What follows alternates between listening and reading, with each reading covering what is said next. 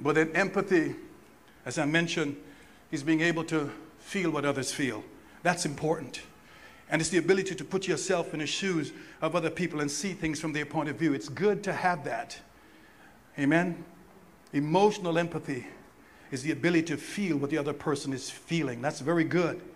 Because they say that people don't care how much you know until they know how much you care. So let me show you how that works in this church. People don't care how much I know, because I'm the preacher, until they know how much you care. Did you catch that? They don't care how much I know. My preaching won't matter that much because I'm the last person's voice they hear when they come in. But you're greeting on the sidewalk, you're greeting in the lobby, you're serving coffee out there. Come on, somebody. You, you're online accommodating the people in the chat. They have questions. People don't care how much I know until they know how much you care. You're the extension of what comes from this pulpit and from my heart as the pastor of this house. Does that make sense? So you've got to care enough to do something, and that's the next thing is compassion. So you need humility, empathy, and compassion. Compassion goes a step further than empathy. It takes action to alleviate the suffering of the other person.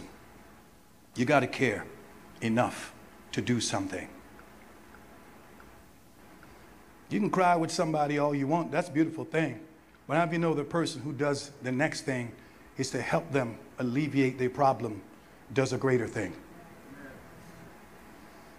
So, service in the kingdom of God, to sum it up, is motivated always by pure love.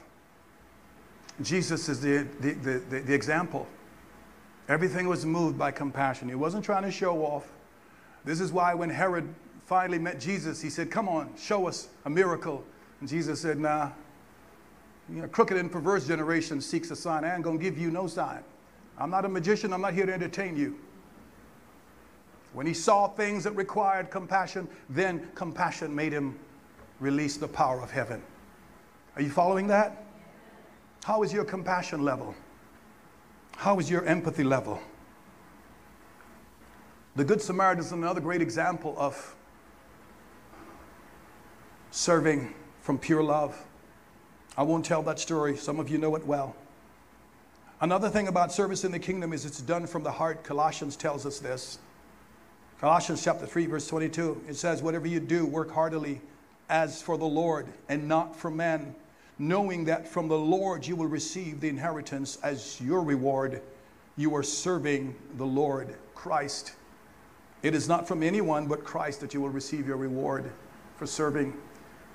And if you can serve knowing that, then you don't worry about whether people see you or not, because what men don't see, God sees.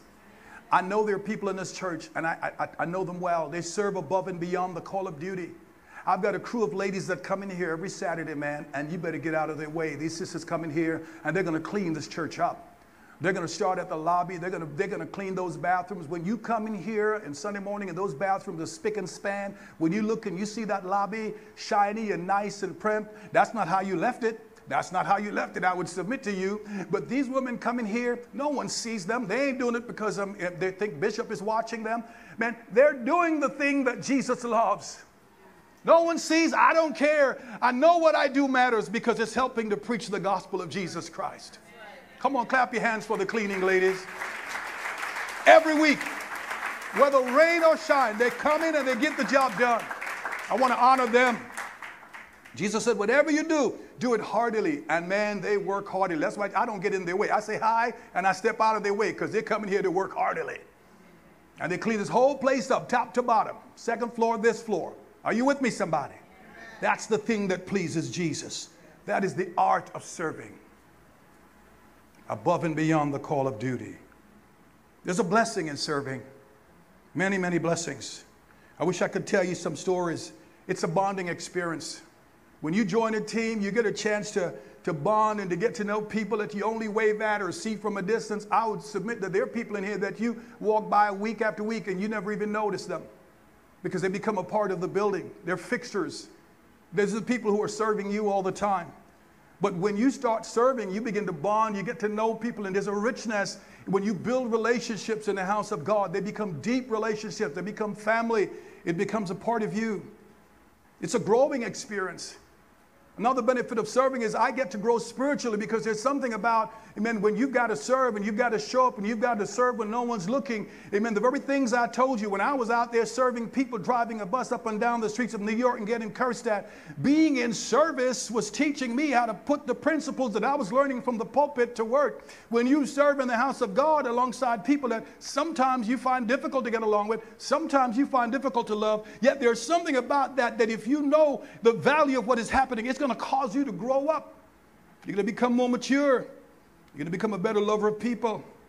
It's a learning experience. And it's also the pleasure of your master that you and I serve. And when God is pleased with us, promotion comes from the Lord. When God is pleased with our work, promotion will come from Him.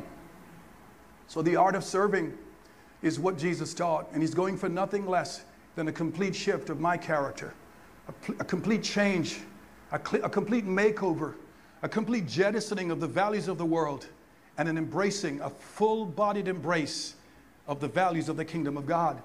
And as you and I learn to serve in that spirit, amen, we're on our way to mastering the art of serving. We are becoming servants